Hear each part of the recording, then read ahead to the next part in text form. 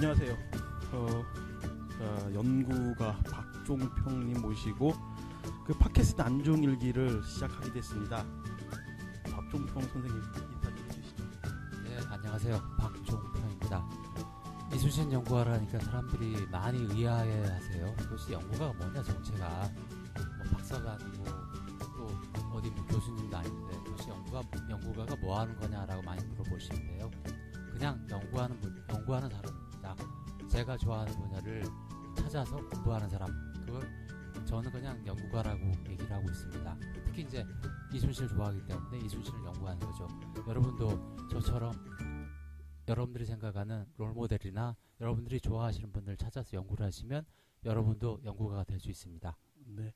그 선생님 제가 그, 파, 그 페이스북에다가 실제 올렸더니 그 댓글 중에 우리 박종평 선생님이 보니까 흔들리는 마음 이순신을 만나다 이 책을 읽고 또 선생님하고 메일을 주고받았다 라는 분이 있었어요. 아 그래요? 어떤 분이시 모르죠? 아, 제가 이제 책을 쓰고 나면 서평은 유심히 봐요. 네. 왜냐하면 한 번 쓰고 끝날 게 아니기 때문에 어떤 오류를 범했는지 혹은 뭘 잘못했는지 알기 위해서 이제 서평들을 이렇게 유- 이제 검색을 하고 그에 따라서 비판이든 뭐 칭찬이든 다 답신 메일을 보내드립니다.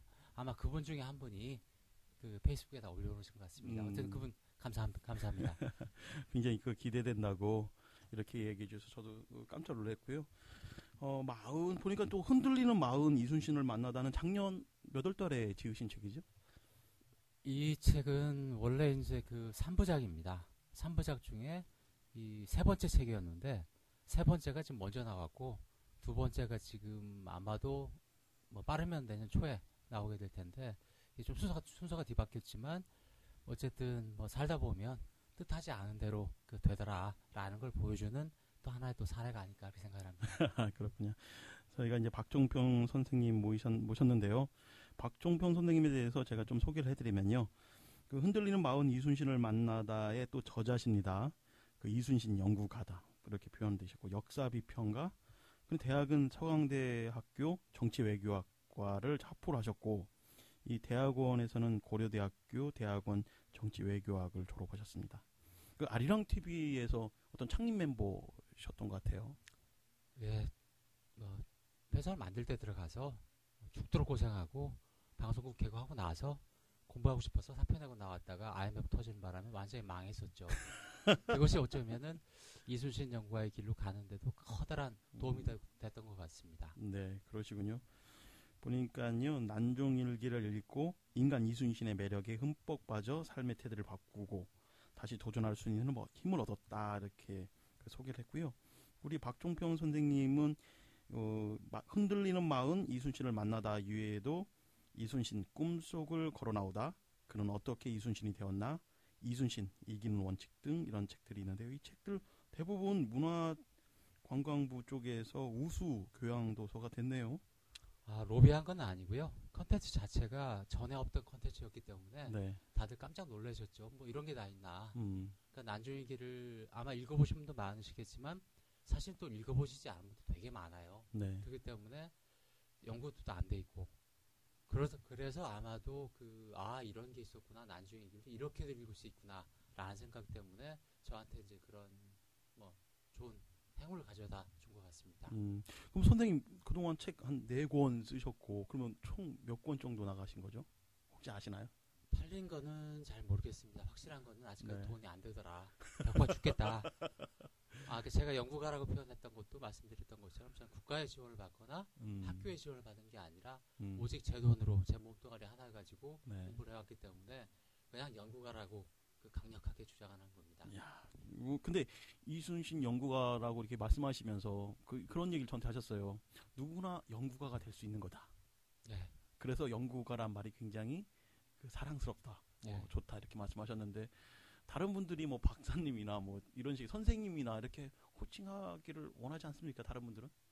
아, 저는 제 일단 박사가 아니고 네, 또 어딜 누구 가르치는 또 사람도 아니라서 네, 그러니까 오히려 저 같은 사람이 많아졌으면 좋겠다. 음, 이 땅에 수많은 위인들이 있었고 앞, 서- 앞에 살다 가신 분들이 계셨는데 그분들의 삶을 누군가는 조명을 해줘야 되는데 누가 할 건가? 음, 우리 학교에서 교수님들이 제대로 안 한 부분이 너무 많았기 때문에 네. 저와 같이 맨 땅에서 헤딩을 하면서 새롭게 일가를 이루어가는 분들이 많았으면 좋겠다라고 생각을 하기 때문에 스스로 연구가라고 얘기하고 여러분들도 될 수 있다라고 뭐 강력하게 얘기하는 겁니다. 네. 이 팟캐스트 난중일기를 저희가 그 기획을 하면서 어떻게 방송을 이끌어 갈까 고민 되- 굉장히 많이 했습니다. 근데 어, 아마 모르겠어요. 중간에 어떻게 바뀔지는 모르겠지만은 저희가 이제 난중일기를요 타임라인대로 쫓아가려고 합니다. 그리고 그 뭐 어떻게 했냐면 임진년 1월 1월에 대한 얘기를 저희가 함께 보고 또 우리 선생님께서 그걸 풀어주는 여러분께서는 저희 방송만 쫓아오면 나중에 보는 그 난중일기를 거의 완역인가요? 완벽하게 해석까지 한 그러한 내용을 알게 되는 거죠. 아닙니다. 그 공간은 남겨줘야죠. 그럴까요? 독자분들도 해석을 해야 되니까. 예, 그렇죠. 결국에는 어, 여러분들의 해석과 또 참여 이런 것도 바랄 거고요. 아직은 뭐 여러 가지 부족한 게 많지만은 음, 난주는 일기에 대해서 많은 부분들을 함께 하면서 그래도 제대로 된 연구 또, 또 보니까 최근에 제가 보니까 불멸의 이순신이라는 드라마도 있었고 네.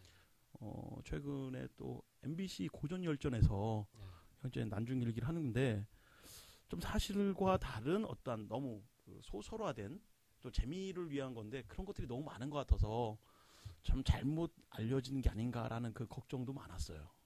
아, 그건 아닙니다. 네, 그래요? 그 각자의 어떤 역량 안에서 그런 시도를 한다라는 것들은 오히려 바람직하죠. 음. 역사를 왜곡하지 않는 한 아. 물론 일부 소설 같은 경우는 당연히 문학적 상상력이 들어가기 때문에 허구성이 있을 수밖에 없는 것이고 드라마도 마찬가지죠. 예, 그것까지 뭐 비난을 해가면서 여- 사실이 다르다라고 주장하는 거는 그거는 전문 학자들의 과도한 해석이고 음. 역사라는 것은 우리가 스스로 살면서 깨닫고 느끼고 또 반복하지 않으면 되는 거거든요. 아, 중요한 건 거기에 있는 것이지 그거를 소설을 허구라고 비판을 한다던가 드라마를 가짜라고 얘기를 한- 한다라고 얘기하면 어떻게 이 나라 문화가 발전하겠습니까? 아유 부끄럽습니다.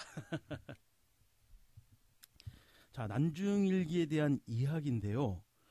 그 우리 이순신 장군 얘기하면 바로 이제 난중일기를 기억하는 분들이 많습니다. 예, 예. 그 난중일기 제가 궁금했던 게 이순신 장군은 왜 난중일기를 그 남겼나요? 이순신 장군이 두 가지였던 것 같습니다. 한 당시 시대적인 배경이 있었고요. 왜냐면 그 시대사의 그 시대의 그 양반들 선비들은 기본적으로 일기를 남겼습니다. 네. 그러니까 이순신 장뿐만 아니라 대- 현재까지 전해지는 당대 일기들이 그 몇 종이 됩니다. 네. 그러니까 이순신의 앞세대였던 그 미함 유이춤 선생 같은 경우도 그 미함 일기라는 걸 남겼고요. 그 다음에 이순신 후세대였던 그 여자분인데요. 양반 사대부가의 그 여자분 같은 경우도 병자일기라는 일기를 남겼습니다. 이 일기는 특별한 게 순한글 일기입니다. 네. 그만큼 남자든 여자든 글을 알고 했던 분들은 자기 기록을 남기려고 했었고요. 음. 또한 가지 이순신 장군의 특별한 건 뭐냐면 이순신 장군 같은 경우는 기록을 때문에 살아남은 분입니다.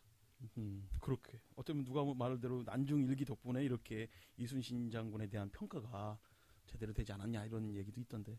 그 이야기가 사실은 이순신 장군의 모든 걸 설명을 하게 되는데요. 음. 이미 이제 이순신 장군이 그 이 난중이 쓰기 전에 그 전에도 기록 때문에 살아남습니다. 네. 그러니까 두 번에 걸쳐서 죽을 기회가 있었는데 네. 그러니까 아니죠. 첫 번째 한 번은 사형 위기가 있었고 한 번은 파직당할 그런 위기가 있었는데 그 두 번의 위기를 모두 이 기록을 남기면서 살아남습니다.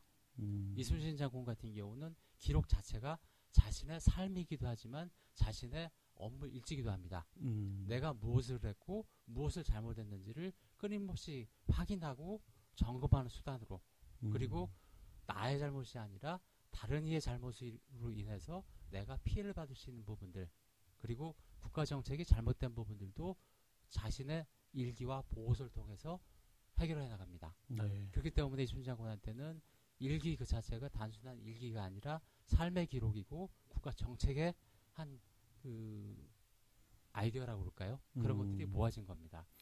정말 보니까는 그 난중일기를 제가 이렇게 보면서 보니까는 어, 공무적인 얘기도 많고 예. 개인적인 얘기도 많았고 또 여러 가지의 어떤 사건에 대한 얘기들도 하고 거기에 보면 지난번에 보니까는 수기라고 하냐 수결이라고 하나 예, 예, 사인. 사인한 그런 것도 이- 있었던 것처럼 보이는데 말 그대로 본인이 필요한 것들은 그 계속 그 적어놓는 그런 곳인 것 같아요. 하나만 뭐 저는 제일 처음에는 난조길기가 전쟁에 대한 얘기만 어, 있는 줄 알았어요. 예. 많은 사람들이 그렇게 오해할 수도 있을 것 같은데 실제 난중일기를 보니까는 개인적인 얘기도 굉장히 네. 많더라고요. 자, 난중일기 하면은 이제 역사적 가치를 어떻게 평가할 수 있을까요? 아마 동서고금을 막론하고 전쟁 중에 군인이 자신의 일기를 써서 남긴 거는 제가 알기로는 거의 없습니다. 아, 그래요? 예. 그러니까 뭐 서양이든 동양이든 자기 자신의 전쟁터 했던 장소가 기록을 일기를 매일매일 썼던 사람은 제가 알기로는 없거든요. 네. 그 얘기는 뭐냐면 전쟁 중에도 일기를 쓰면 사실은 마음을 다스렸던 거죠. 네. 그 아까 마- 좀 전에 말씀하신 것처럼 사적인 이야기들이 많다라고 말씀하셨는데 그게 바로 그 이야기를 증명을 합니다. 자신이 아파하는 것들, 고통스러워했던 그런 모든 기억들을 사실 일기를 쓰면서 자기 자신을 정화해 나갔던 거죠. 그러니까 이순신 장군에게 난중일기는 단순하게 자기 업무일지나 뭐 쉽게 얘기하면 뭐 워다이어리라고 얘기를 하는데요. 그런 것이 아닙니다. 삶의 기록 그 자체라고 보셔야 됩니다. 아, 그렇습니까? 자, 그 이순신 장군에 대해서 뭐 여러 가지 뭐 많이 뭐 거북선도 얘기하기도 하고요. 네. 또 전쟁 뭐 계속 모든 걸 한 번도? 안진 얘기도 많이 하기도 하고 네. 최근 보니까는 그 MBC 라디오에서 하는 고전 열전에서는 그 전쟁을 위주로 많이 진행하는 것 같더라고요. 네. 그러다 보니까는 좀 깊게 들어가지 못하는 것 같고 네. 원균에 대해서는 좀 해학적으로 풀이하는 것 같기도 하고 그래서 원균은 과연 실제 어떤가 그런 거 궁금하기도 합니다. 네. 아마 그 저희 팟캐스트를 듣는 분들이 그 재밌게 나오는 어떠한 소설화된 드라마화된 이런 난중일기와 실제 그 연구가님의 얘기를 통해서 함께 들으면은 더 좋겠다라는 생각도 들었습니다. 그러니까 사실은 역사라는 것들은 기록을 남긴 자의 이야기지 않습니까? 네. 이긴 자의 이, 이야기이기도 하고 음, 그런 면에서 원균은 상당히 불행한 사람이죠. 음, 음, 기록을 안 남겨서. 아 우리 이제 뭐 소장님께서는 이렇게 웃으시지만 네. 그만큼 역사라는 것들은 극명하거든요. 음, 사료가 있느냐 없느냐, 아, 기록을 남겼느냐 안 남겼느냐, 아, 어떤 기록이 남았냐에 따라서 한 사람에 대한 평가가 완전히 극과 극으로 갈리거든요. 아, 원균 같은 경우도 그게 사실은 이 역사책이 아니라 위인전 속에서 엄청나게 왜곡이 됐을 사람이지 음, 실제는 꼭 그렇게 무식하게 이상한 사람으로 평가하는 거는 그 과도한 그 인물 저평가라고 그럴까요? 근데 사실은 이 원균에 대한 평가는 여러 가지가 있지만은 이순신 장군이 평가한 부분들이 난중일기에 있어요. 네 있습니다. 뭐 과도하다라기보다는 이순신 장군도 어, 원균에 대해서는 좋게 평가한 게 별로 없거든요. 아 그거는 이렇게 봐야 됩니다. 거기 보면 주로 이순 장군이 원균에 관해서 표현할 때는 뭐 해괴회하다, 좀 이상한 놈이다. 음, 라는 표현을 가끔씩 많지는 않습니다. 네, 다 합쳐봐야 한 뭐 열댓 번 정도 그런 기록이 나오는데요. 전체 네. 7년 중에. 네, 그, 그렇다고 해서 원균 장군이 과연 그렇게 이상한 사람일까? 음, 그거는 별개의 문제거든요. 아 그래요? 나와 남이 생각이 다를 수도 있고, 입장이 충돌할 수도 있고, 네, 이순신 장군이 신이 아닌데 모든 사람을 다 포용하고 한다는 거는 사실 그것 자체가 우상화죠. 아, 피가 흐르는 인간, 분노하는 인간, 상대를 웃음을 웃, 그러니까 웃을 수 있는 인간 이순신 입장에서는 당연히 비판도 할 수 있고 뭐 비난도 할 수 있는 것이고 저는 좀 너그럽게 봐줬으면 좋겠습니다. 아, 그렇습니까? 네. 그러면 다음에 한번 특집으로 그 원균 특집을 한번 만들어 보도록 하죠. 저도 궁금한데 실제 우리가 많은 사람들이 알고 있기는 그 원균은 뭐 그 밥을 많이 먹고 네. 좀 몸이 커서 비대해서 자기 몸을 못 가누는 그런 거로도 아- 기억하고 있고 또 보면 칠천량 해전에서 네. 전그 수군 조선의 수군을 다 전멸시킨 네. 하나의 어떤 무능한 장군으로 기억을 많이 하고 있지 않습니까? 예, 맞습니다. 그 외의 모습들은 과연 어떻게 나왔는지 네. 또 불멸의 이순신이란 드라마에서 보여진 모습도 있었는데 그 모습이 꼭 좋은 쪽으로 된 건 아니었거든요. 그래서 네. 한번 실제 난중일기와 다른 역사서에서는 어, 원균에 대해서 어떻게 나왔는지 한번 그 특별한 시간 한번 만들었으면 좋겠고요. 우리 박종평 선생님께서 그 이순신 장군을 오랫동안 뭐 연구를 하셨지 않습니까? 올해는 아닙니다. 그냥 짧은 시간 아주 세게 한 거죠. 아, 그래도요, 그뭐 5년, 5년, 6년 동안 책을 한 네 권을 쓰셨으면은 뭐 5년, 6년을 완전히 바치신 그런 상황인데 이순신 장군 어떻습니까? 이순신 장군은 딱 한마디로 표현하자면 사랑입니다. 아, 사랑이요. 그러니까 우리 전쟁하는 장수, 그 불멸의 이순신처럼 위대하다라고 얘기하는 장수라고 많이 알려져 있지만 이순신 장군은 제가 이리 살펴보고 저리 살펴보고 이렇게 뒤져보고 저렇게 뒤져봐도 그의 마음속에 있는 것은 단 하나입니다.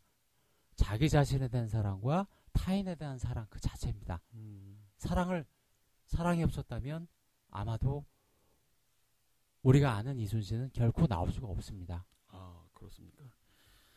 아, 이순신을 사랑이다 이렇게 표현을 하셨는데 제가 이순신 장군에 대해서 보면은 굉장히 엄격함, 스스로에게 자신에 대한 엄격함, 또 그 전쟁에서에 대한 엄격함 그런 모습이 많이 보였어요. 어, 그리고 그렇죠. 또 어떻게 보면 안중일기를 보면서 굉장히 몸이 아파서 예. 불편하다는 표현을 굉장히 많이 하셨잖아요. 예. 그래서 어떻게 보면 정말 외로운 사람 그렇죠. 음, 그런 것도 많이 봤고 또 어떻게 보면은 아, 지금 서- 그 선조의 네. 명령에도 본인이 아닌 건 아니다 예. 얘기할 수 있는 어떤 또 강단도 있는 이런 네. 부분도 봤고 어, 여러 가지의 모습을 많이 보여줬는데 사랑이란 표현은 제가 많이 못 느꼈는데 아, 그, 그 얘기는 아무도 하지 않습니다. 왜냐하면 그동안 우리가 알고 있는 이순신은 전부 장수 이순신, 예, 살벌한 이순신, 음, 싸우면 무조건 이순신, 이순신만 만났기 때문에 이순신이라는 사람이 왜 그런 행동을 했는지 몰랐던 거죠. 아 그래요. 자 앞으로 보니까 저희는 이제 방송에 그 오늘은 임진년 1월까지 할 거고요. 다음 방송에는 임진년 2월 이렇게 나가면서 사이사이 특집을 할 겁니다. 뭐 어, 어떨 때는 원균 특집, 어떨 때는 이순신 장군의 어떤 그 동료 그 장군들에 대한 얘기도 하고 이런 식으로 특집을 만들어가면서 좀 재미나게 만들 예정이고요. 시간은 어떤 어, 정하지 않고 일주일에 한 번 정도 계속 만들 예정입니다. 근데 오늘 가만히 보니까 이 상태로 가면 도저히 한 시간인데 그 1월 달까지 못 갈 것 같습니다. 아, 그렇습니까? 그러니까 왜냐하면 1월 달에도 중요한 이야기들이 굉장히 많습니다. 아, 그 난중일기를 아마 읽어보신 분들은 도대체 이게 뭐야 도대체 음, 이게 무슨 말이야 음, 이 단어는 도대체 뭘까 왜 이런 얘기가 나왔을까라는 것들이 그 배경 설명이 없기 때문에 네. 무슨 말인지 전혀 모르고 맞습니다. 저도 그거 네. 동감합니다. 제가 읽으면서 미로 속에 그 헤매는 느낌 예, 그리고 쓰는 단어 자체가 옛날 말이니까 예, 이 단어 이게 무슨 말인지 모르겠어요. 네 맞습니다. 그거에 대한 그 궁금한 것들 제가 많이 물어볼 것 같습니다. 아마 방송을 하면 할수록 특히 뭐 지금 임진년 1월에는 뭐 여러 가지 준비의 기간이 있지만 전쟁이 시작하는 4월부터는 정말 그 다양한 궁금한 것들이 더 많이 나올 것 같은데요. 우리 그 박종병 선생님하고 함께 하니까요. 이 기대가 되고 가슴이 떨리기도 합니다. 저도 무척 행복합니다. 제가 사실 난중일기를 계속 읽고 공부를 해왔지만 저도 많이 헤맸습니다.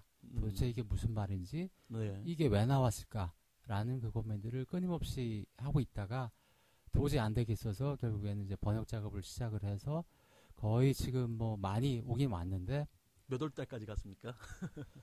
아닙니다. 가기는 지금 아마 원문을 읽어본 게 지금 한 20번 정도가 될 겁니다. 어, 그러니까 번역문은 우리나라에서 나온 번역된 책들은 다 봤고요. 네.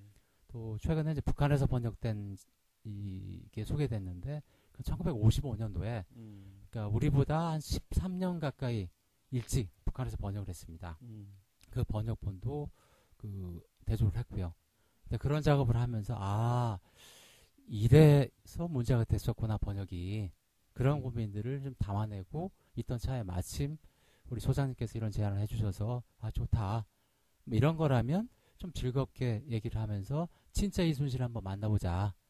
저도 이 기회를 통해서 다시 한번 이순신의 마음으로 돌아가는 그런 자세를 갖고 여러분들도 그 어려운 난중일기 재미없고 딱딱한 난중일기 그리고 죽어 있는 난중일기가 아니라 살아 있는 난중일기를 한번 같이 한번 만나보자. 음. 그래서 이제 뭐 흔쾌하게 이제 응했고요. 덕분에 즐거운 시간을 아니면 또 굉장히 가슴 아픈 시간이 될지도 모릅니다. 음. 아, 한- 그럴 것 같아요. 가슴이 아픈 부분도 꽤 있더라고요. 저도 읽으면서 네. 야, 이 부분은 너무 이순신 장군이 가슴 아파하는 저도 네. 가슴 아파하는 내용들이 있었는데 자 팟캐스트 난중일기 어떻게 보면 그동안에 책으로 만나보는 난중일기가 있었고요. 어, 드라마라도 있었는데 그 팟캐스트의 난중일기로 이렇게 타임라인 시간 순서대로 저희가 준비했습니다.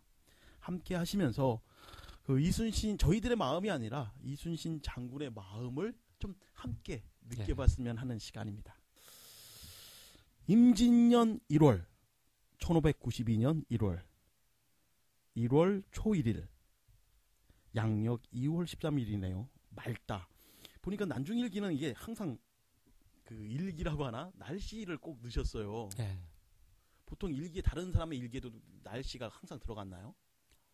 예, 그렇죠. 음, 왜냐하면 그 당시에 모든 일기들이 다 그렇습니다.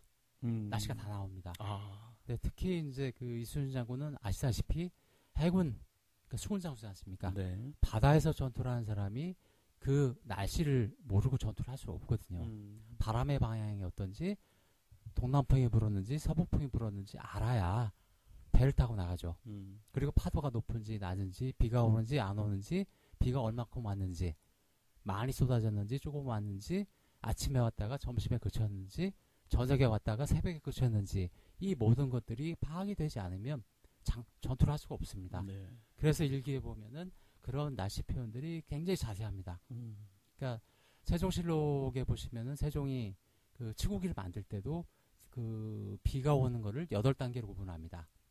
아주 많이 오는 비부터 시작해서 아주 조금 온 이슬비 같은 경우까지도 여덟 단계로 구분하는데 제가 확인을 해봤더니 총 여덟 개가 나옵니다. 음. 근데 같은 식의 용어는 일곱 개가 거의 겹치고요. 그 얘기는 그만큼 정밀하게 날씨를 파악하려고 노력했다는 얘기죠. 자, 그 임진년 1월을 보니까요. 그 난, 그때는 이제 전쟁이 나기 한 4개월 전 아닙니까? 그렇죠. 전쟁을 준비하는 그 이순신의 장군 모습이 있었고 또 보니까는요 이순신 장군이 1월에 여러 가지 형태를 같이 함께 볼 텐데 좀 개인적인 얘기들도 많이 올라왔습니다. 그래서 하나하나 제가 일독하면서 선생님께 궁금한 것들 좀 물어보려고 하는데요. 이순신 장군 1월에는 어떤 일이 많이 있었나요? 이순신 장군한테는? 그러니까 1월 달에는 사실 전쟁 준비를 했던 시기입니다.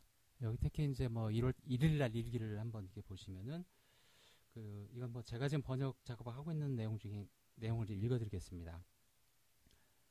좀 전에 말씀 그 읽으셨던 것처럼 맑았다. 새벽에 아우 여필과 조카 봉 아들 회가 와서 이야기했다. 그러나 다만 어머니를 떠나 남쪽에서 두 번이나 서로 죄니 회안을 이길 수 없다. 뭐 이렇게 쭉 돼 있는데 여기서 이렇게 보시면은 이 일기에 우리가 번역문을 볼 때는 아주 건조하죠. 네. 이게 무슨 아 그냥 아들이 왔다 갔구나, 음. 동생이 왔다 갔구나, 어머니가 보고 싶구나. 그걸로 다 딱 정리가 되지 않습니까? 네. 그런데 이 일기에는 비밀이 있습니다. 어, 어떤 비밀이 있습니까? 여기 보면은 아들 회라고 돼 있죠. 네. 번역문에 아들 회를 표현할 때 돈 회라고 씁니다. 원문에는 음. 우리가 한글 일기를 썼을 경우에 이순신 장군이 우리말로 일기를 썼다고 했을 경우에는 귀여운 내 새끼 회라고 썼을 수 있는 표현이기도 하고 음. 또 스스로 자기 자식을 겸손하게 표현할 때는 돈자를 씁니다. 아, 돼지 돈자를 이렇게 붙이게 되는데 돼지던자. 예, 예.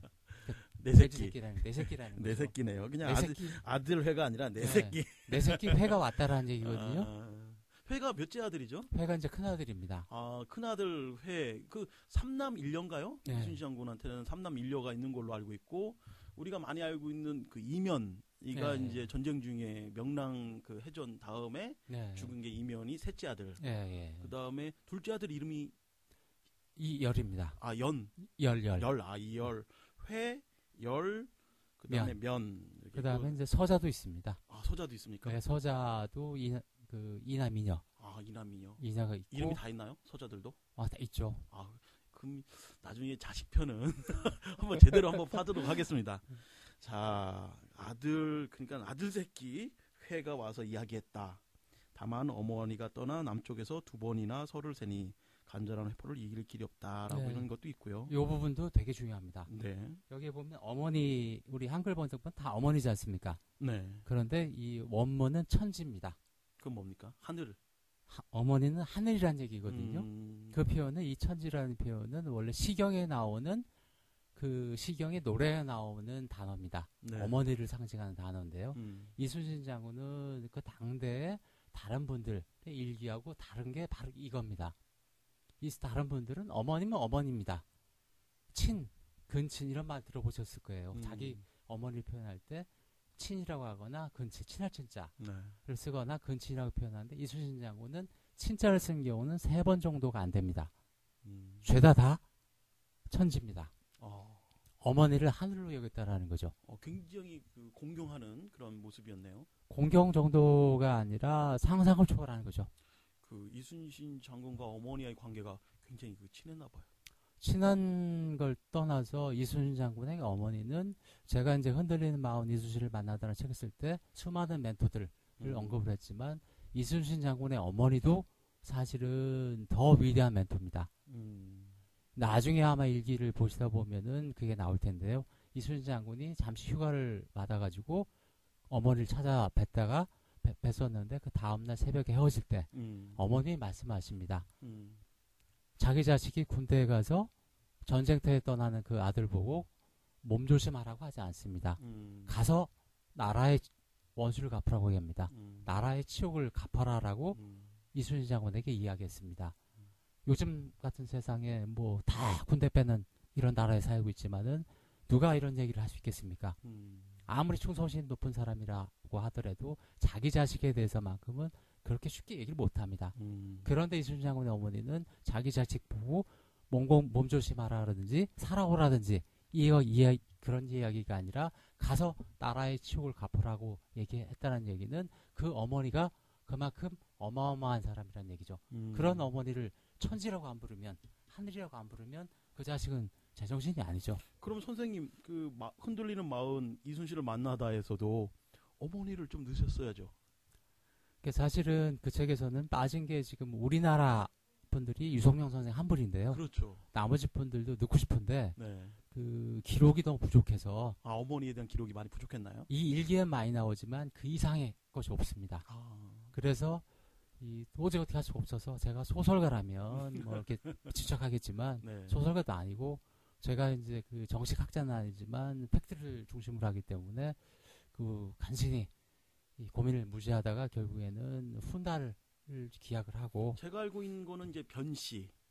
예, 그 다음에 그 할머니도 또 변 씨다 해 갖고서는 예. 그 이순신 집안과 변 씨 집안이 2대에 걸쳐서 이렇게 연결된 그런 얘기를 하더라고요. 그리고 이제 그 이 이야기 중에 또 하나가 있는 게 뭐냐면 우리가 흔히 이제 이순신 장군은 가문이 몰락했다. 음. 조광조 선생 따라서 그, 그 집안이 움직이다가 김효사화를 몰락했다라고 그렇죠. 김효사화 때문에 굉장히 그 위축된 걸로 알고 있는데. 그거는 그 당시에 뭐 이순신 장군 가문뿐만 아니라 다른 가문들은 더 살벌했습니다. 다 죽거나. 죽거나 쫓겨가거나 유배가거나 했는데 음. 이순신 장군 집안은 그 정도는 아니었고요. 네. 몰락할 정도까지는 아닙니다. 약간 스스로 좀 피하는 상황이었군요. 아 그런 것 같지는 않고요. 기록이 정확하게 없어서 그런데 확실한 건 뭐냐면 그 당시의 결혼 문화가 장가를 가는 겁니다. 음. 시집을 오는 게 아니라 장가 간다 한 말을 하죠. 예 장가 간다 시집 간다에는 우리 고유의 전통 훈련 문화가 담겨 있습니다. 그렇죠. 갔다가 이제 다시 오거나 이렇게 하는 아니요 상황이죠. 그 당시에는 갔다가 다시 안 왔습니다. 안 왔습니까? 그 네. 당시에는? 장가를 가면 어, 처가에서 쭉 살았고요. 어, 시집을 오는 것이 아니라 남자들 장가가 처가살이를 했기 때문에 음. 이 당시에는 이수신 장군도 마찬가지로 그 아버님이 서울에서 잠깐 살기 살았지만은 처가로 돌아간 거거든요. 아, 원래 그렇게 가야 됐으니까. 네. 이제 얘기를 사람들이 되게 이상하게 생각을 많이 하시는데 그 당시 문화를 보면 서해 유성룡 선생이나 퇴계 유양 선생 그 당대에 유명했던 분 율곡 이이 전부 다 다 처가에서 태어났습니다. 네. 그 당시에 결혼 문화 그랬기 때문에 음. 아산으로 간 것도 처가로 돌아간 거지. 그럼 어머니에 대한 기록이 좀 없다는 것도 아쉽네요. 어머니에 대한 기록이 좀 제대로 나왔으면은 말 그대로 이순신 장군과 그 어머니와의 그 관계, 애틋한 네. 관계, 또 어떠한 훈련을 받았는지도 제대로 나왔을 텐데 그런 부분이 좀 없는 것 같아요 역사적으로는요. 그래서 그런 기록들, 그러니까 젊은 시절의 기록이 거의 없습니다. 그 여- 젊은 시절의 기록은 다른 쪽에서 나오는 거죠? 다른 쪽이 아니라 이제 그 조카, 아, 조카가 남긴 기록에 이제 일부 나오는데 젊은 시절, 시절의 기록은 그렇게 많지가 않아서 음. 우리가 젊은 이순신이 도대체 뭐라고 살았나, 음. 뭘 고민했을까 아, 이런 것들을 사실 추정하기 되게 어렵죠. 아, 그렇군요. 자, 이순신 장군 어느 날 갑자기 이렇게 그 태어났는데 보면은 뭐 지금 흔들리는 마음 이순신을 만나다에서도 제갈공명에 대한 얘기하면서 예, 그 54세, 예, 54세에 같은 죽은 나이도 같고 예, 실제 죽는 상황도 좀 비슷했다. 예. 이렇게 말씀해서 그 제갈 공명과 이순신을 굉장히 비슷한 아니면 제갈 공명과 어떤 흡사하지 않느냐 이런 얘기도 많이 하셨었어요. 그 흡사, 그러니까 유사하긴 한데 저 개인적으로는 저는 대한민국 사람입니다. 그리고 이 한반도 사람이고요. 그 입장에서 기록에 남아 있는 팩트로 확인 가능한 비교를 할 때는 이순신 장군이 100배 낫다. 100배가 아니라 만배 났습니다. 그래서 이제 좀 우리 스스로 그런 뭐 이, 이상한 사대주의 네. 이런 것들은 좀 버렸으면 좋겠습니다. 네. 그러니까 우리의 영혼을 우리 스- 스스로 재발견하고 더 키워나가는 건 우리의 몫이거든요. 맞습니다. 비교해서 폄하시키는 거는 정말 이게 무슨 뭐 이조시도도 아닌데 맞습니다. 뭐 지금도 이렇게 살아야 된다는 건좀 기가 막힌 일이죠. 음. 자, 보니까요. 우리가 1월 1일도 아직 못 나가고 있어요. 자, 병마사의 군관 이경신이 병마사의 편지와 설 선물과 장전과 편전 등 여러 가지 물건을 그 가지고 왔다 이렇게 하는데 공무와 개인적인 얘기가 이제 섞여져 있네요. 어머니에 대한 얘기도 있고. 이제 그 전에 어머니를 떠나 남쪽에서 두 번이나 설을 셌다. 음. 이 이야기는 뭐냐면은 이순신 장군이 전라 자수가 된 그 시점을 얘기하는 겁니다. 아 그렇습니까? 그러네요. 진짜 네. 그러네. 그 아, 남쪽에서 이쪽에서 좌수사가 된 지 한 2년 전에 오신 건가요? 2년 그러니까 전에 이- 오시지 않았나요? 1년 전에 좌수사가 됐는데요. 그렇죠. 그 전에 이미 이제 정호평감, 뭐 진도군수 이런 임명을 받고 했기 때문에 사실은 아산에 계신 어머니에서 떠난 게 2년 됐다는 아. 얘기거든요. 그렇군요. 자, 좀 나이도 많은데 너무 어머니에 대한 애틋함이 마마보이처럼 보일 때가 많습니다. 헬리콥터도 아니고. 자, 그럴까요? 이렇게 보면은 장정과 편전 이게 뭡니까? 이 장전하고 편전은 일종의 화살의 일종입니다. 아, 화살이요. 예, 두 개는 다른 거- 다른 거고요. 근데 이제 난주역이 원본을 보시면은 이 장전 편전 이것이 이제 한자가 붙어 있습니다. 장편전을 붙어 있어서 그 번역대에 따라서는 장편전 한 단어로 번역하기도 하고 어떤 분은 또 장전 편전을 나눠서 하기도 하는데 실제로는 장전이라는 화살도 있고 편전이라는 화살도 있습니다. 네. 편전은 그 애기살이라고 그래요. 아마 그 얼마 전에 활에 관한 영화 하나 나왔, 나왔던 게 있죠. 어, 그렇습니다. 거기 보면 화살이 아주 작은 게 있었을 겁니다. 대나무 맞습니다. 대롱에 넣는 거. 대롱에다가 놓고 하는 그게 바로 편전입니다. 아, 그게 편전이군요. 네, 그거는 굉장히 그 강하고 이 명중률이 높았던 그 그거 왜 편전이 그 우리가 이렇게 많이 썼는 줄 아십니까?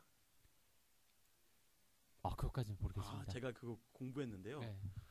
어, 실제 전쟁을 하면 화살을 갖고 가면은 이 화살을 쏘면 상대방이 그걸 주워서 다시 네. 우리한테 쏘는 경우가 있대요. 거의 그렇죠. 근데 네. 이 편전을 쏘면은 우리는 편전에 맞는 대롱이 있으니까는 편전을 쏠 수 있는데 우리가 편전을 쏴도 저쪽에서는 그 화살을 갖고 쏠 수 없었다는 거예요. 아, 맞아요, 맞아요. 저도 그 얘기 듣긴 들었는데. 예, 그래서 그 편전이 굉장히 그 어떤 비밀로 하면서도 우리의 그 중된 어떤 그 군인들의 무기였다 이렇게 하더라고요. 예, 맞습니다. 그리고 이제 여기 보면은 그이 편지하고 설 선물이라는 얘기가 나오거든요. 네. 그 당시에도 이제 그 명절 때가 되면 선물을 주고받았습니다. 음, 누구 아 병마사의 선물이네요. 예. 근데 이 설 선물 중에 가장 많이 들어있던 게 뭐냐면 책력입니다. 책력, 달력. 달력. 요즘에도 우리 그 연말 연시가 되면 달력 나오면은 선물하지 않습니까? 어, 최근에 이제 막 그런 거 많더라고요. 아니 그건 되게 오래됐어요. 그러니까 아, 이 예. 당시부터 이미 예. 그 달력을 주고받는 문화가 있는데 음. 이 달력이 왜 중요하냐면 달력에는 그 당시에 그 일식 월식 음. 이런 것들이 다 기록이 돼 있어요. 아. 몇 월 며칠에 일식이 있다, 월식이 있다. 음. 그리고 국가의 행사들 아, 그러니까 왕이 돌아가신 날, 왕비가 돌아가신 날들이 다 기록이 돼 있어요. 네. 근데 관리라 관리라면은 그때 이제 절을 안 하거나 그러면 이 불충이 되거든요. 음. 그래서 달력이 그 당시에도 선물로 주고 받았었고 그게 이제 오늘날까지 내려온 문화예요. 그 1월 1일 날 네. 보면은 뭐 보통 저희가 그 이렇게 편지 그 일기 같은 거 쓰면 1월 1일 어 굉장히 마음이 들뜨고 금년의 계획을 뭐 이렇게 하는데 네. 사실은 굉장히 무미건조하게 시작한 것 같아요. 그 한번 그 이틀로 초이틀로 한번 저희가 보면요. 음, 아까 말한 대로 나라의 제사 어, 제삿날 바로 명종 인 인순왕후 심씨의 제삿날임에도 공모를 보았다. 김인보와 함께 이야기를 했다. 이렇게 이튿날이 되는데 김인보는 누군지 좀 조사 좀 해보셨습니까? 아 그분은 사실은 자, 확인하기 되게 어렵고요. 예. 근데 이제 그 조금 전에 말씀하신 그 읽어주신 그 번역문 그거는 그 번역을 잘못한 겁니다. 아 그렇습니까? 네. 그 사실은 그 나라의 제삿날에는 공문을 보지 않습니다. 사물 안 보거든요. 네. 그때는 술도 마셔도 안 되고 음.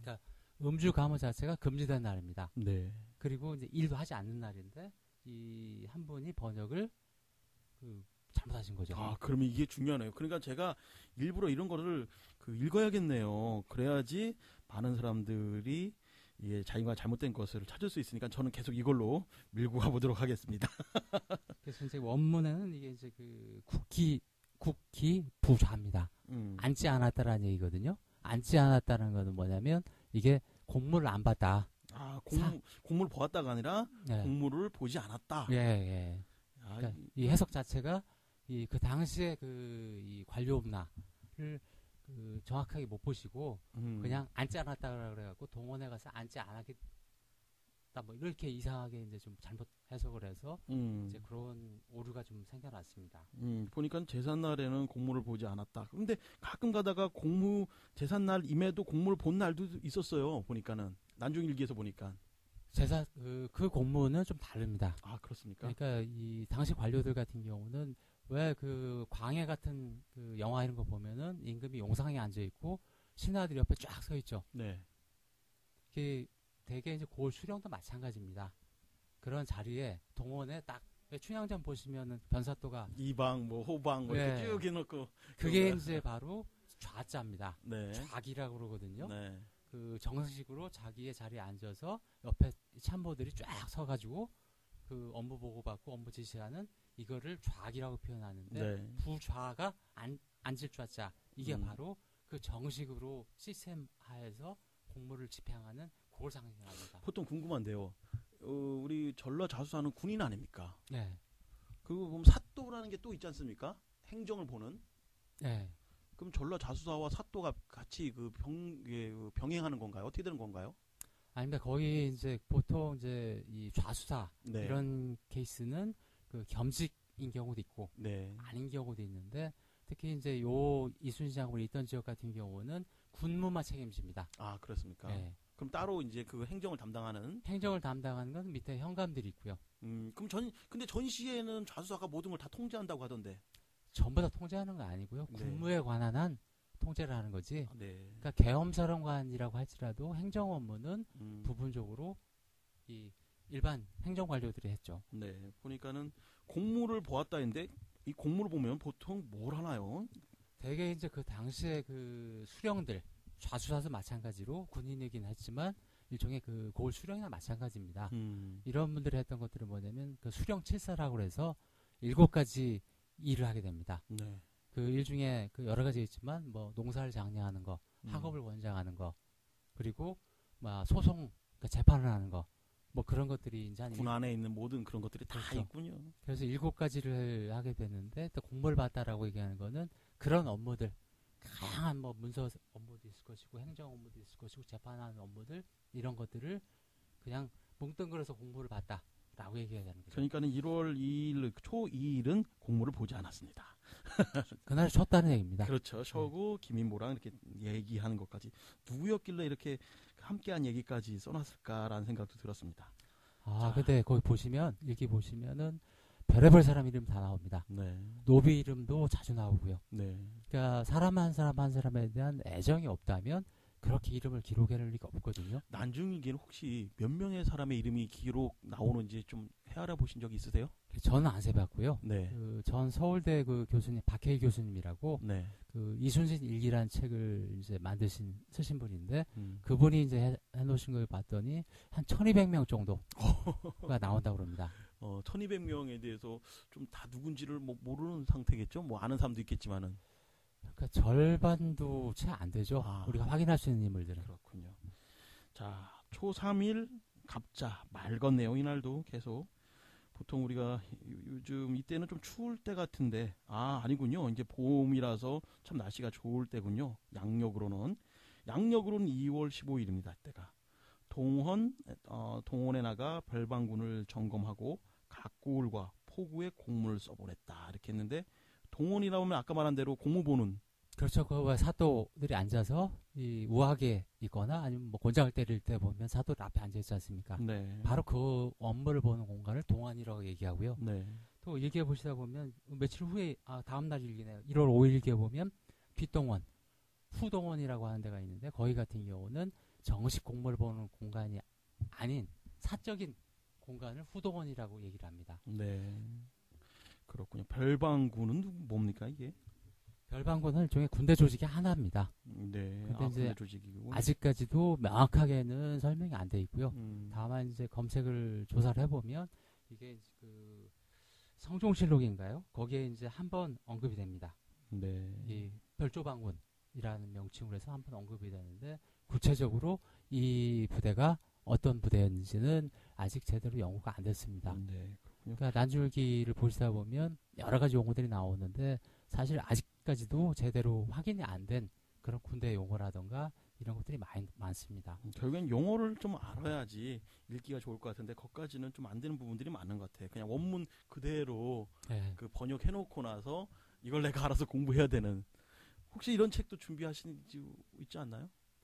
그러니까 그 난줄기 뭐 책이라기보다 네. 그러니까 제 개인적인 필요에 의해서 지금 번역 작업을 하고 아, 있는 거고 그러시군요. 그래서 이제 이런 것들을 하나하나 스크린을 좀 해가고 있는 거죠. 음, 자, 1월 초 4일, 5일, 6일까지는 동원에 가서 이제 동원에 나가 공모를 봤다 이런 내용이고요. 초 7일 아침에는 맑았다 이렇게 하고 나서 늦게부터 비와 눈이 번갈아 종일 내렸다. 조카봉이 아산으로 갔다.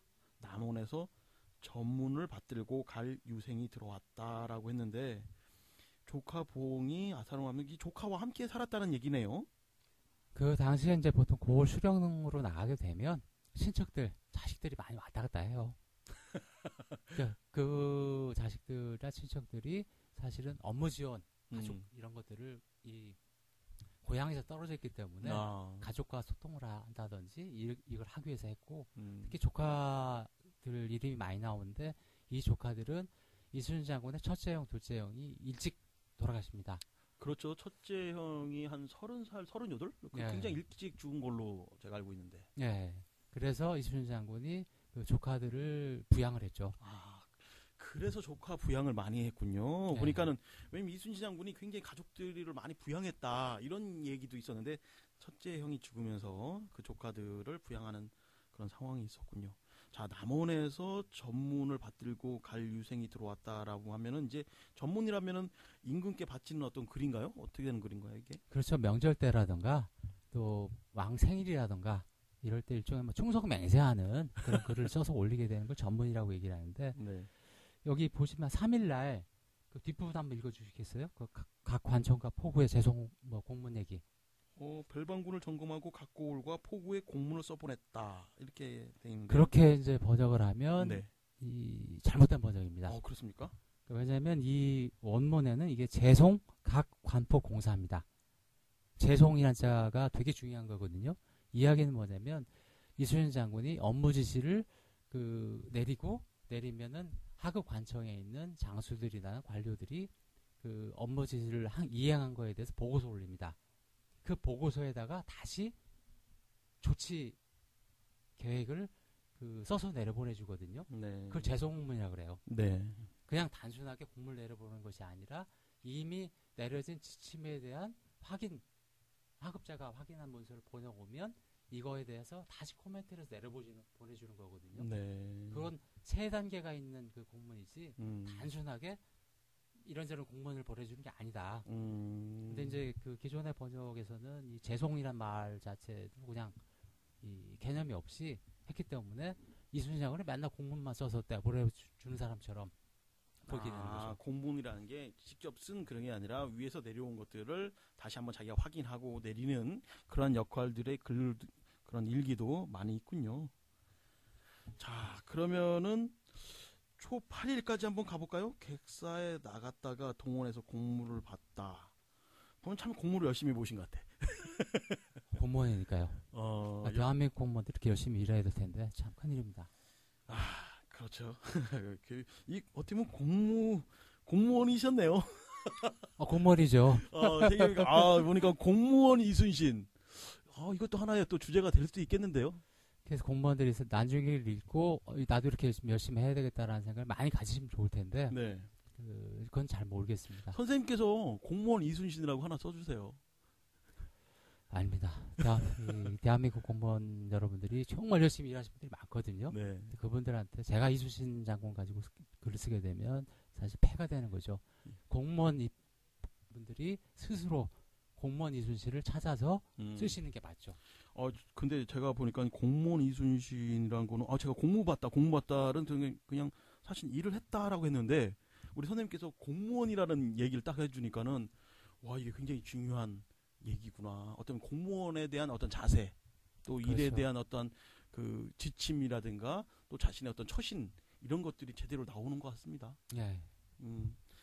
1월 초 9일 말다 아침밥을 아, 참 8일 날 그 객사 얘기 나오죠. 예 객사에 나갔다가 동원해서 공무를 받다. 객사는 또 어딥니까 여기가? 아, 객사는 뭐냐면 지금 저 평택 쪽에 가면 객사리라는 데가 있습니다.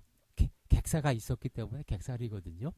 아 객사가 보통 바깥에 나갔다 이런 거 아닙니까? 아, 객, 그 보통 객사는 뭐냐면 그 왕을 상징하는 전패를 모시는 데예요. 아 거기다가 이제 뭐 전자 전화할 때 그 전자 있죠. 네. 그 전자를 나무에 새겨놓고 거기에 정기적으로 절을 합니다. 네. 그 이 전패를 모시는 데가 백- 객사고 또 그 객사의 기능 중에 하나가 뭐냐면 뭐 사신들이나 중앙에서 파견 나온 관리들이 거기서 쉬어가기도 하는 그런 장소입니다. 그렇군요. 객사에 나갔다는 얘기는 이날 그 전패가 있는데 그 장소에 그 나가서 거기서 일을 봤다는 얘기거든요. 음 그렇군요. 자 동원해서 공무를 이렇게 열심히 보는 상황들. 자, 초 9일에는 아침밥을 일찍 먹은 다음 동원에 나가 전문을 봉하고 봉하여 올려 보냈다. 아까 말하는 그 저, 보니까 1월 초 7일에 그 전문을 가져갈 유생이 들어왔고 이 친구한테 이제 전문을 보낸 거 아닙니까? 그렇죠. 보니까 이 친구가 와서 한 이틀 동안 기다렸다가 네. 그걸 갖고 이제 뭐그 밑에서 그 한성까지 네. 가면은 한 보름? 그러니까 보통 그다 빨리 간 제가 이제 일기 나와 있는 그 기록들을 한번 네. 체크를 해봤어요. 편지가 얼마큼 갔다가 얼마큼 돌아왔나, 네, 얼마큼 네. 돌아왔나 확인해봤더니 대략 한 7일 왕복 14일. 어, 왕복. 그러니까 네. 가는데 일주일. 네, 오는데 일주일 빨리 간 케이스죠. 어, 이거 그만큼 일, 일주일 만에 아, 일주일 정도 걸리겠군요. 뭐 네. 빨리 가면. 근데 그 한 사람이 가는 건가요? 그러니까 대개 이제 이 당시에 서신 왕래다라든가 이런 것들은 한 사람이 가는 경우도 있고 중간 중간 거쳐서 가는 경우도 있고. 음. 근데 뭐이 친구는 유생일에 혼자 한 것 같아요. 그렇죠. 아마도 이제 이 사람이 서울에 갈 일이 아마 있었던 사람일 거예요. 아, 갈 일이 있었고. 갈 일, 그러니까 그러니까 너 남원에서 너 내려와서 내 거 그 그쪽에 그 파- 본성 본영이 어디입니까? 전라 자수사의 본영이 여수. 그러니까 여수 아닙니까? 네. 이 남원에서 여수 또 한참 내려와야 되는데. 그러니까 아마 이 유생이 남원에 있는 사람인데 뭔 이유가 있어서 여수까지 왔다가 어. 이 이수 장군을 만나고 자기가 서울 간다라고 얘기를 하니까 네. 가는 편에 편지를 전해준 거죠. 네. 근데 이 당시에 이제 편지가 다 그런 식으로 갑니다. 야, 보면은 그러니까 끙깡끙깡 하는 5일 걸려서 이제 몸 푸는 이제 쉬는 거예요. 이틀 동안. 네. 이제 쉬었다가 다시 가야 되니까 지쳐서 보니까 한 이틀 쉬었다가 뭐 한 또 일주일 걸 열심히 올라가셔야 됩니다. 야, 나중에 그러다가 호랑이한테 잡혀 먹고. 그래서 이거 되게 중요합니다. 어. 특히 이제 나중에 이 승전 장계 네. 승첩하고 나서 쓰는 보고서 같은 경우는 아무한테나 안 줍니다. 음. 자기가 신뢰할 수 있는 부하한테 또 포상을 받게 하려고. 음. 왜냐하면 그 승첩 장교를 갖고 임금을 만나면 임금이 자리를 하나 줍니다. 아, 너 수고했다. 예. 기분 좋아서 예. 승첩 단계니까 예. 승전거를 알리는 그런 거 아닙니까? 예, 그래서 야, 이순신 장군이 아무한테나 그를 이 보고서를 준게 그러니까는 아니라 너는 좀 상 받을 만한 자격이 있는 사람한테 보냈겠네요. 그렇죠. 야, 씨, 흐뭇할 것 같기도 해요. 가면서 난 오늘 상 받는다. 아, 그 임금. 앞에서 야, 그러니까 로열티가 그냥 생기는 것이 아니라 어. 그런 배려들 야, 정말 그렇구나. 거기 가는 것도 굉장한 어떠한 그 사명감도 있었겠지만 또 영광이네요. 자기 또 승, 그 어떠한 그 훈장도 받고 여러 가지 뭐 좋은 자리도 받게 되는 큰 어, 기회가. 되는. 자, 볼까요? 초 10일에는 종일 비가 내렸네요. 비가 내렸고 방답의 새첨사로 이순신이 부임하여 들어왔다. 이게 가장 재미난 게 그 제아 제 그 부하 중에 이순신이 또 있다는 겁니다. 네. 그렇죠. 그, 왜 인터넷 보시다 보면 뭐 이순신 두 명이다 이런 얘기들 많이 하시는데 그 두 명이 바로 이 이순신입니다. 음. 우리 한글 음은 이제 같은 이순신인데요. 그 이분 같은 경우는 이순신 밑에서 이제 크게 많이 활약을 하죠. 음. 근데 이때 이제 처음 이수- 이분이 등장을 하고 나중에 보시면 일기에 보면 정말 열심히 일하는 성실한 그런 분이었습니다. 네. 야, 근데 제가요. 지금 아까 선생님 처음에는 어 이- 임진년 1월만 갖고도 꽤 시간이 많이 걸릴 거다 얘기했는데 그때만 해도 아 무슨 소리야 이거 금방 금방 넘어갈 것 같은데 야 굉장히 많이 시간 걸리네요. 그렇죠. 네. 그러니까 말하자면 그냥 막 우리가 무식하게 읽고 가면 뭐 별 내용이 없지 않습니까? 그렇죠. 왜 이런 얘기들이 있고 이것이 무엇인가 이 사람들이 누군가를 알게 되면 더 쉽게 이순신 장군이 누군지 그 사람이 어떤 생을 갖고 살았는지 만날 수가 있어서 그래서 이런 배경 얘기들을 이제 설명을 드리는 거죠. 음. 나중에 가면 빨라지겠죠. 다 테니까. 그렇죠. 어떨 때는 금방 일기 안 쓴 해도 아 뭐 그 월도 있더라고요. 몇 달치는 뭐 3개월 정도는 일기도 안 쓰셨던 기억 그것도 있고 뭐안 썼다기보다 없어진 거죠. 아 없어졌다. 네, 그게 이제 세월이 지나고 나서 이제 사라진 케이스들이 있고 음. 또 물론 일부 이제 의심되는 부분이 있어요. 의도적으로 안 쓴 것처럼 느껴지는 그런 음. 시기도 있긴 한데 뭐 굳이 그걸 가지고 왈가왈부할 건 아닌 것 같고 네. 중요한 거는 이렇게 한 줄 한 줄이 들어있는 그 이순신 시대를 지금 우리는 지금 살아가고 있는 거죠 지금. 그렇습니다. 말 그대로 임진년 1592년을 저희는 살고 있습니다. 타임라인을 보니까요. 1월 11일, 임 1592년 1월 11일 이때는 종일 가랑비가 내렸네요. 한번 제가 읽어보겠습니다. 늦게야 동원에 나가 공무를 봤다. 이봉수가 선생원에 돌뜬 곳에 가보고 와서 보고하기를 이미 큰 돌 열, 음, 17덩이에 구멍이 뚫었다. 구멍을 뚫었다. 고했다. 서문 밖 해자가 네 발쯤 무너졌다. 심사립과 이야기했다라고 하는데 아우 이 얘기 되게 좀 어려운 얘기가 있어요. 무슨 얘기인가 한번 자세히 보면요. 공무를 보셨고 그 다음에 이봉수라는 사람이 선생원이라는 곳에 가서 돌 뜨는 곳 이게 뭡니까?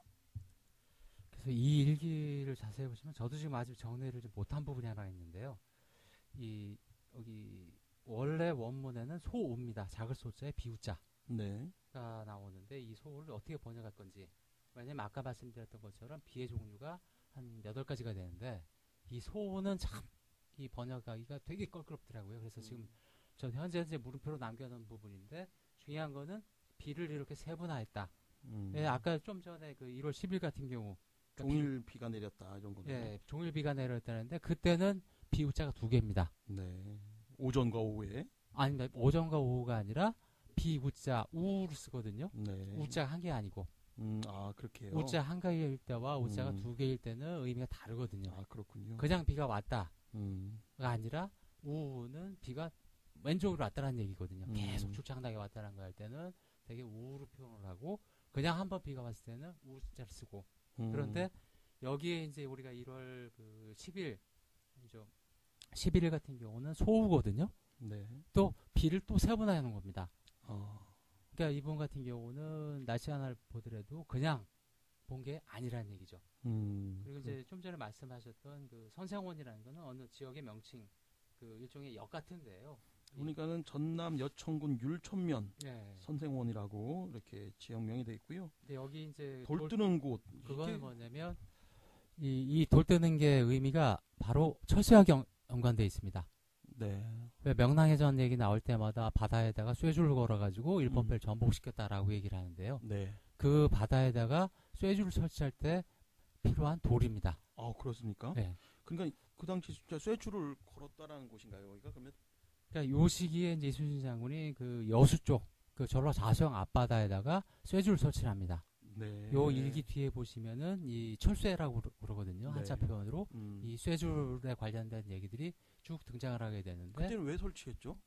당시에 이제 해양 방어 시설로 그, 그 외적의 어떤 그 배들이 들어온 거를 막기 위해서 아. 쇠줄 걸어놨는데 현재까지 지금 연구된 내용은 없습니다.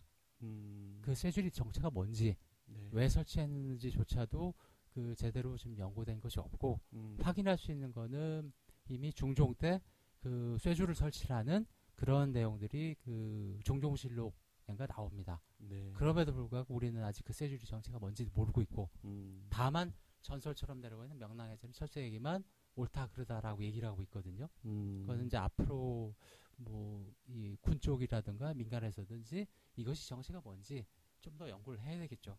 그렇군요. 보니까는 뭐 네 발집 무너졌다라고 하는 그런 상황들 이런 얘기가 나오네요, 그죠? 여기서 이제 네 발이 원래 한자로는 그 사파입니다. 네. 사파인데 이 파를 또 번역을 또 기존의 번역에서는 그거를 좀 길이로 번역을 합니다. 네. 길이가 아니라 성벽이 무너졌다는 얘기면 면적으로 봐야 되겠죠. 음. 그러면 면적 단위로 해석을 계산을 해서 해줘야 되는데 기존의 번역은 길이로 해갖고 음. 이렇게 쳐, 쳐서 사실은 그, 그 성벽 상황을 못 보게 만드는 음. 일도 뭐 간간히 있습니다. 네. 그때 이게 보니까는 뭐 하나의 어떤 그 음, 무슨 뭐 군 시설 같기도 하고 그 시설인데 그런 것들을 만들고 하는데 그게 무너지는 얘기들이 있었습니다. 1월 12일 구준비가 개이지 않다. 식사를 한 후에 객사 동원에 가- 나갔다. 객사 동원에 나갔다. 본영 및 각호구의 직무들에게 우등을 가리는 활쏘기를 시합했다라고 했는데 참 이순신 장군 활쏘기 시합 굉장히 좋아하시죠?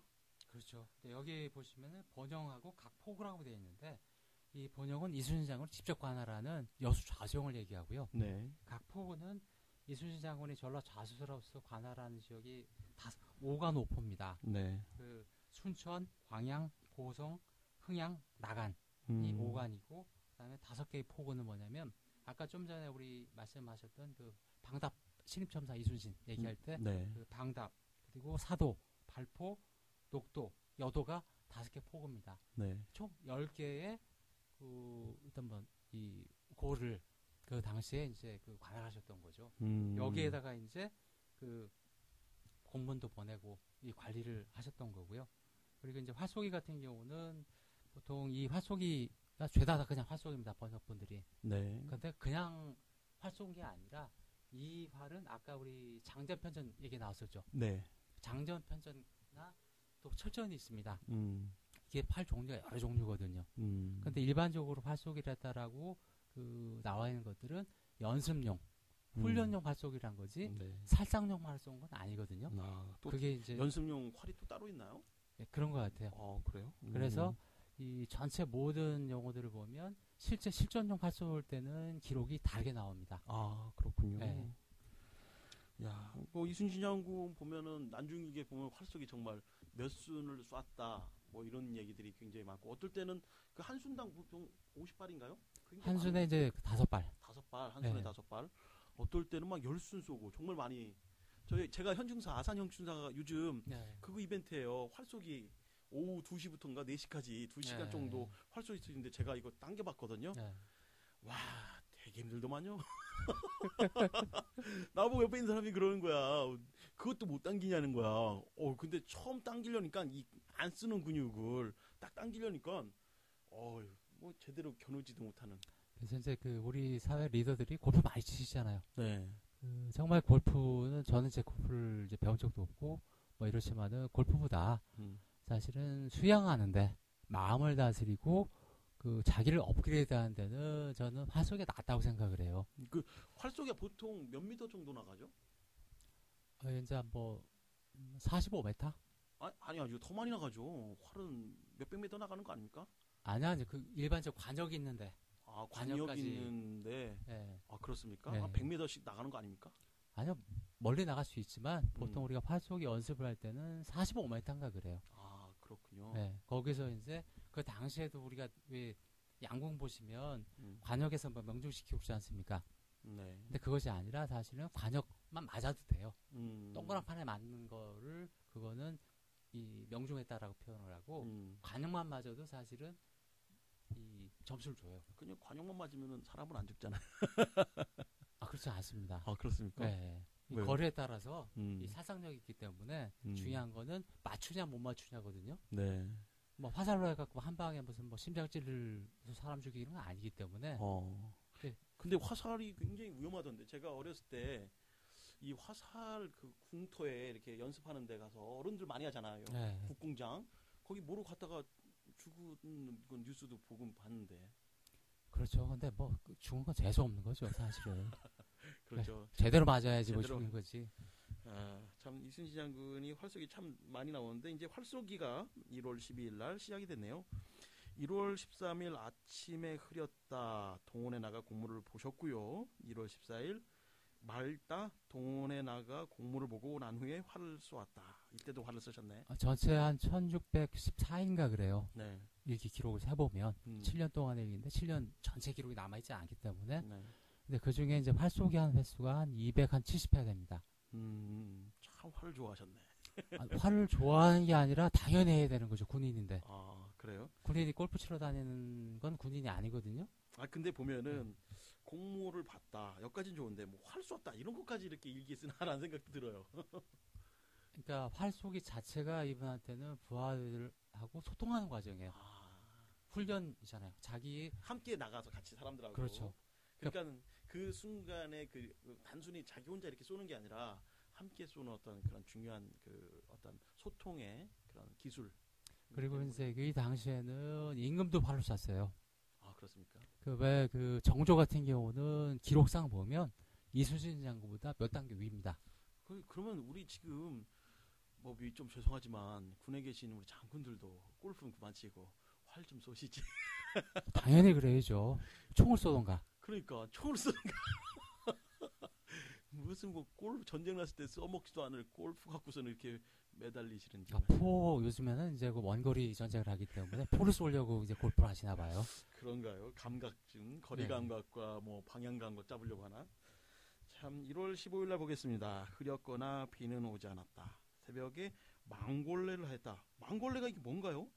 그 아까 제가 객사 설명드릴 때 왜 그 임금을 상징한 전자라는 목표 말씀드렸었죠. 네. 그 전자에다가 매월 1일하고 15일 날 그 절을 하는 의식이에요. 음. 그러니까 임금에 대한 충성심을 표현하는 다지는 그런 데 의식인데 음. 이 망골레에 대해서도 정확한 기록들이 없어서 마지막에 헤매다가 찾아낸 게 그 미암 유춘 선생의 그 기록이 있습니다. 네. 망골레에서 도대체 망골레가 도대체 뭐냐 확인해 봤더니 그 기록에 보면 그 객사 앞에서 전자에 좌우로 서요. 네. 신하들이 좌우 고을에 이제 뭐 아전들하고 같이 서서 그 다음에 절을 하고 그 다음에 천세를 부릅니다. 네. 우리 만세 많이 하시죠? 네. 만세하고 천세 어떻게 만세! 만세 이거 아니야? 그거하고 천세가 어떻게 다른지 아세요? 천세는 또 천세가 있습니까? 천세는 모르겠는데 만세는 그냥 우리가 만세가 아니에요. 이 천세는 바로 우리가 중국의 사대 관계에 있다라는 걸 증명하는 얘기예요. 아. 황제 앞에서는 천- 만세를 부르지만 아. 우리는 그 이 당시에 제국이었기 때문에 예. 천- 만세를 부르면 반역입니다. 아. 그래서 제국에서는 천세라고 해야 되거든요. 아, 저희는 그럼 천세라고 했어요 그때는요. 네. 그러면 천세 천세 이렇게요? 예. 야, 야 그것도 굉장히 아픈 그게 있었네요. 뭐 그럼 만세라고 한 게 역사가 그렇게 길지 않았겠어요. 대한독립 만세죠. 그렇죠. 그때 대한 제국이었거든요. 그러니까요. 황제라는 것을 우리가 선포한 그럴 때니까는 그랬으니까 이제 만세가 가는 거지. 그 전에는 만세를 하면 중국에 반기를 들- 든다라고 이렇게 보여지죠. 아, 그 우리한테는 이것이 우리 우리가 어떤 위치에서 존재했던 나라였는지를 보여주는 하나의 그 증거이기도 하죠. 아 그렇군요. 좀 찝찝하고 슬프고 안타까운 얘기긴 하지만 어, 저는 그럼 이때 천세 천세 하고 그럼 역사 드라마에 가끔가다 만세 나오는 거 절대 이거 다 오류네 역사적. 그렇죠. 조선에 한해서는 뭐 만세를 부르는 그렇죠. 그좀 뭐 어폐가 있죠. 음, 아, 중요한 우리가 보니까는 아, 이 난중일기 통해서 그냥, 그냥 넘어갈 수 있는 얘기인데 굉장히 중요한 얘기였어요. 그 대한 독립 만세라는 게 단순히 대한 독립 만세라는 게 그냥 어 기뻐서 이게 한 만세가 아니라 그 전까지 한 번도 쓸 수 없었던 만세를 썼던 그런 역사적인 어떤 그거 구호였네요, 진짜. 가슴 아픈 뭐 어쩔 수 없는 그러면 중국 사람들은 만세 썼나요? 그 사람들은 만세를 부르죠. 아. 자기들은 그 천자의 나라, 황제의 나라이기 때문에 만세라고 하지만 우리는 만세라고 부르면 안 되고 예를 들자면 도자기 이 우리 조선 백자를 보시면은 용이 그려져 있는 거 아마 보셨을 거예요. 네, 그 용에 보면 발가락이 우리는 네 개 아니면 세 개입니다. 네. 용 발가락이 몇 개인지 누가 알아요? 근데 보통 우리가 용발가락은 세 개 이렇게 많이 봤던 것 같은데 그 중국은 다른가요? 중국은 다섯 개입니다. 아, 황제의 나라는 다섯 개고요. 예. 제후의 나라는 네 개, 왕자는 세 개. 음, 그게 달라요. 그래서 우리가 용 발가락을 다섯 개를 쓰면 중국에 저항하게 되는 그런 의미를 갖고 있어요. 근데 재미난 게 중국은 계속 나라가 바뀌지 않았나요? 바뀌죠. 근데도 그런 것들은 계속 유지가 됐습니까? 일단은 뭐 원나라 네. 하고 그 원명 교체기가 있고 우리가 고려 조선 교체기가 있, 었지만은 그렇죠. 바꾸죠. 네. 그러니까 조선이 창업되면서 원나라 대신 명나라하고 관계를 우리가 바꿨죠. 네. 그게 이제 그 당시에 이성계가 그 명나라를 점, 그 정벌하자는 그 최영 장군 이쪽하고 그쪽 사람들 반대해갖고 네. 쿠데타를 일으키게 되는데 그렇죠. 그렇게 같이 연동이 돼 있죠. 그래도 우리나라가 조선이 그 중국에 대한 거는 똑같은 변함없이. 예. 아, 참 가슴 아픈 또 것들을 찾아낼 수 있었습니다. 그러니까 이제는 좀 자존심 갖고 음. 또 협력할 건 협력하되 음. 대등한 관계로 가야 되겠죠. 만세네요. 만세해야죠. 저희가 지금 난중 팟캐스트 난중일기를 뭐 한 시간 넘게 했는데요. 저희가 빨리 왔어요. 제가 사실은 좀 약간 궁금한 거 더 있었는데 했는데도요. 지금 보름 한 그 1월 15일까지 어, 못 갔습니다. 아 나중에는 빨리 갑니다. 어, 너무 재밌고요. 제가 보니까 만세라는 것도 지금 처음 알았고요. 망골레. 또 제가 오늘 느끼는 것 중에 가장 그 가슴 깊게 느꼈던 거는 공무원 이순신. 과연 공무원 어떻게 봐야 되는 건가? 그 공무원에 대한 자세를 알려주는 그러한 어떤 글들도 볼 수 있었거든요. 어떠세요, 선생님께서는? 일단은 우리 대한민국의 공무원들이 정말 이순신 장군처럼 한다면 이 나라가 무지무지하게 좋아질 겁니다. 그때 여기 일기에 보시면은 생리 아전들이죠. 네. 처벌하는 게 되게 많이 나옵니다. 뭐 목도 많이 쳤더라고요. 장난을 워낙 많이 쳤거든요. 아이고. 뭐 지금하고도 비교를 해도 일부 왜 신문에 나오는 음, 이상 공무원들 네. 같은 분들이 그 당시에도 많았다는 얘기죠. 음, 우리나라 지금 공무원들은 죄송하지만 정년 보장돼 있잖아요. 그때 공무원들은 사실 부상하게 됐어요. 왜냐면 어. 국가에서 월급이 안 나왔거든요. 아, 그렇군요. 그래서 이제 이래저래 뭐 속된 말을 표현하지 뭐 삥을 뜯거나 뭐 착취를 한다던가 할 수밖에 없었던 이유들이 있었지만 음, 그래서 이순신 장군이 이제 이 가끔가다 시, 정도 심한 케이스는 처벌을 단호하게 했지만 음, 그런 배, 배경들이 있습니다. 음. 하지만은 지금의 공무원분들은 그렇게 삥 뜯어서 살 정도는 아니기 때문에 제발 그러지 않으셨으면 좋겠습니다. 야, 이 공무원 우리가 보는 충무국 이순신 장군 그 군인으로서의 모습이 있었는데 어, 지금 임진년 1월에는 이제 공무원 이순신의 모습이 많았어요. 행정가죠. 그렇죠. 네. 철저하게 공무원 이순신이 어떻게 일을 하- 잘 열심히 하는지 또 자녀들에 대한 것들 어머니에 대한 얘기가 있었고요. 참 벌써 이게 가슴이 뿌듯하기도 하고 어 이거 그 당시에 이렇게 활도 쏘셨는데 아 나도 그 자리에 가서 활 쏜 그런 느낌도 있고 그렇습니다. 우리 박종평 선생님 오늘 이렇게 팟캐스트 난중일기 해보시니까는 느낌이 어떠세요? 첫 방송인데. 글쎄요, 제가 좀 잘하고 있나 잘 모르겠는데 그 좀 뭐 이런 얘기를 하는 과정에서 저도 다시 한번 정리가 되고 여러분들과 같이 이순신의 마음으로 돌아가자.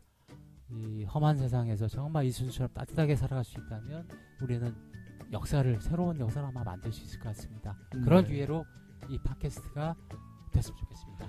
그 박종평 선생님의 말씀대로 정말 어, 팟캐스트 난중일기는 뭐 이순신 장군에 대한 얘기이기도 하지만 또 우리들 자신에 대한 얘기가 될 것 같기도 합니다. 어, 흔들리는 마흔 이순신을 만나다의 작가시죠. 작가시자 또 이순신 연구가 사실은 우리 박종평 선생님 모시려고요. 제가 정말 많은 노력을 했습니다. 여러분들과 어, 저희가 지금 생각하기는 한 100회 정도의 특집이 나올 것 같은데 한 1년이 될지 2년이 될지 모르겠습니다만은 이순신 장군에 대한 어떤 그 감동을 여러분들과 함께 나누기를 바라고요. 앞으로도 이 팟캐스트 방송 많이 응원해 주시고 또 어, 저희가 나중에는 뭐 공개 방송이 되, 되든 또 초대 손님을 하든 많은 분들을 여기 자리 초대해서 장군에 대한 어떤 특집도 함께 얘기할 수 있는 그런 어, 걸로 만들도록 하겠습니다.